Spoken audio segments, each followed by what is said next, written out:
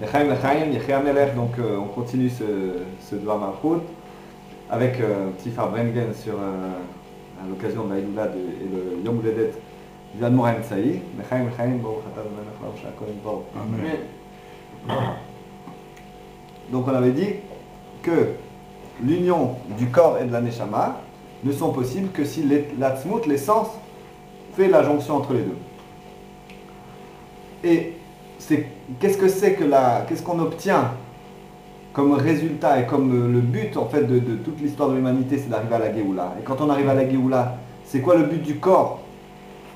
Parce qu'en fait, on voit que Dieu a créé un corps. Il aurait pu laisser les Neshamot, étudier la Torah là-haut, et c'est tout. Dieu a créé un corps pour que quand tu auras la Géoula, Mipsare et Chazé Eloka. De la- avec la chair, on pourra voir la divinité. C'est ça, c'est que la, divinité s'insère, Choderet, comme on dit en hébreu, ça c'est plus fort encore que le français. Choderet, ça veut dire elle descend, elle s'insère, elle, influence la chair pour que la chair perçoive la divinité. Comme on dit au niveau de la. quand, quand Mashiach se dévoile, alors la, Neshama est, alimentée par le corps. Alors qu'aujourd'hui, on voit bien que s'il n'y a pas de Neshama, le corps, ça se shalom. Hein Ah, quand il y aura Mashiach, de, de manière dévoilée, puisqu'il est là maintenant, alors déjà, le corps nourrit la Neshama. On peut même s'en apercevoir, même aujourd'hui. Et donc, on retourne à ce qu'on avait dit au départ, que la, la Mourem Saï continue le, travail de son père, et c'est comme ça qu'on voit qu'il y a un enchaînement, une dynastie qui nous amène au dévoilement du Mashiach, c'est le dévoilement de la Chassidoute. La Chassidoute Chabad plus particulièrement.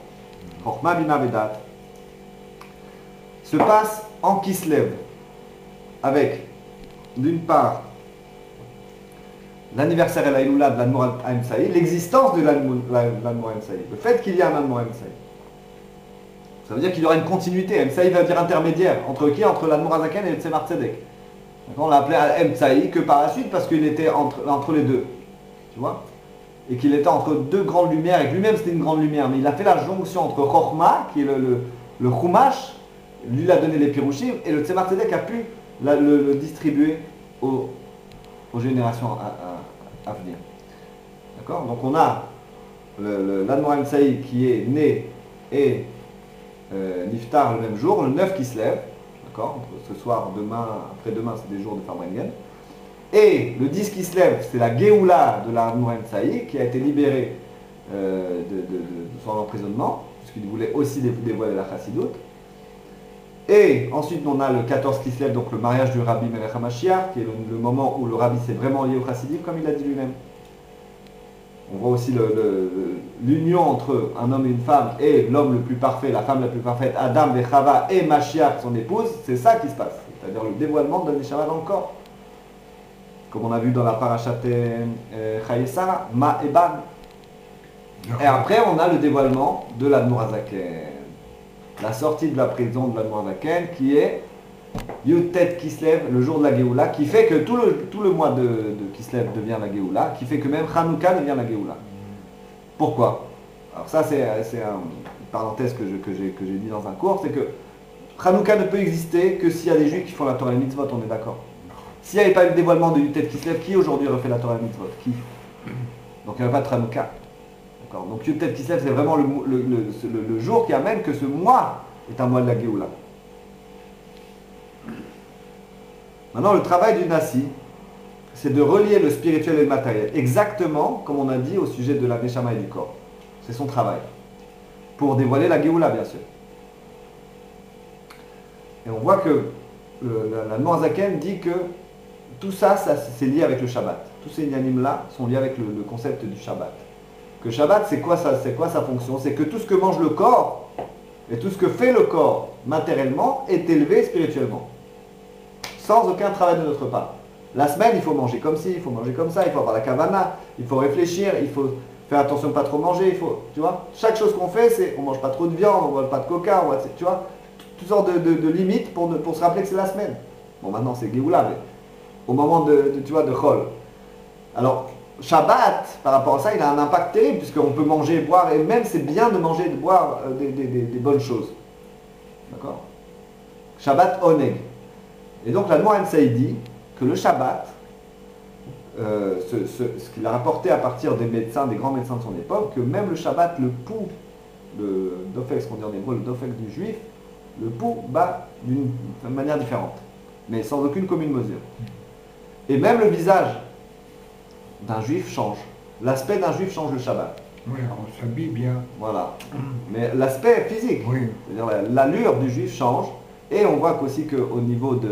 une- un- pas une halakha, mais un- une, une- une parole comme ça qui a été dit dans la Gemara qu'un Amaharetz ne ment pas le Shabbat. On peut faire confiance. Un Amaharetz, quelqu'un qui n'est pas là, un ignorant, ne ment pas le Shabbat.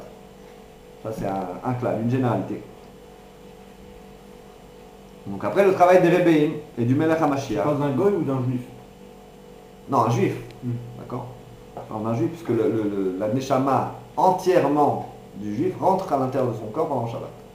C'est sûr que ça a une influence sur l'égoïsme. C'est évident que les non-juifs, eux, reçoivent l'influ- l'influence naturelle du Shabbat. Comme la nature. On voit qu'il y a un- une rivière qui s'appelle le Sambation qui s'arrête le Shabbat. Donc cette rivière, c'est pas un juif, c'est une rivière. D'accord Donc, euh, Quoi, quoi, quoi oui, il y a une rivière qui témoigne du Shabbat. Ça s'arrête de couler pendant le Shabbat. C'est dans les Indes, enfin bon. Ça s'appelle le Sambation. Oui, le Sambation témoigne du Shabbat. Les goïms aussi ils sont influencés, c'est sûr qu'ils sont influencés. Il n'y a personne qui l'arrête ou Non, non, non, c'est naturel. naturel. Naturel. Wow, hein. Donc après le travail des Rebbeim, c'est-à-dire de- des Rebbeim, quand on parle allemand MCI, on parle des Rebbeim, du Rabbi Melech HaMashiach dans le monde, on peut aujourd'hui voir la lumière de Mashiach dans le monde. Et c'est ce que dit le Rabbi, qu'aujourd'hui il nous a donné un cœur pour, ressentir, pour connaître, des yeux pour voir, des oreilles pour entendre. Qu'est-ce que ça veut dire Au sens simple, ça veut dire que quand on voit le monde, comment, il, est, comment il, est- il a évolué jusqu'à aujourd'hui, pendant 5770 ans, d'accord? J'insiste sur le 5770, d'accord?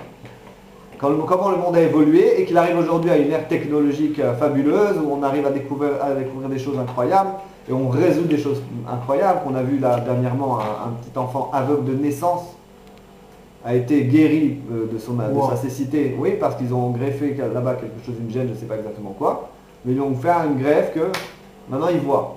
C'est une chose qui n'a jamais été possible de, l'histoire- depuis, de tous les temps. Le Rambam il a témoigné là-dessus d'ailleurs.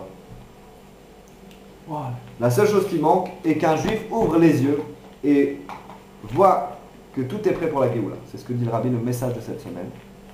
Donc pour voir, ouvrir les yeux, il faut accomplir le verset que dit dans le, dans le, le c'est marqué Natati lachem lev ladat et naim lirot ve'oznaim lishmoa. Donc un cœur pour comprendre, pour connaître, pour ressentir en fait. Des yeux pour voir, on voit, on entend la Géoula, on entend des cours, on entend des shiurim partout, on, on allume la télé, on allume internet, on allume la radio, des shiurim de Torah, c'est possible aujourd'hui de de l'entendre partout avec les oreilles. Et maintenant on ressent la Géoula. C'est quoi de ressentir la Géoula? C'est d'être enveloppé par son Hatzmut, son Nefesh Elokit, sa, sa- son âme divine au niveau de Yetzem, c'est-à-dire de l'essence, qui fait dévoiler le Nitzotz Mashiach, qui dévoile ce qu'on avait expliqué plusieurs fois, l'étincelle de Mashiach. C'est ça l'étincelle de Mashiach qui relie les éléments corps et les éléments âme, qui les relie ensemble, qui leur donne euh, une possibilité de s'harmoniser ensemble, chose impossible normalement, d'accord? Et tout ceci entraîne que la Géoula se dévoile aux yeux de tous, puisque chaque personne qui va dévoiler en lui cette étincelle va faire boule de neige et tout le monde va pouvoir voir la Géoula Mitzvah Shlema, de dévoiler aux yeux de tous. Yechi a donné nous Melech.